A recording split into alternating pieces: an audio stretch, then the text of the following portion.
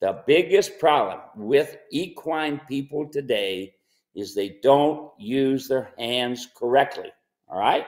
Now, you've heard me say, you want to make the turn to the right, you turn your right hand and you go to the right.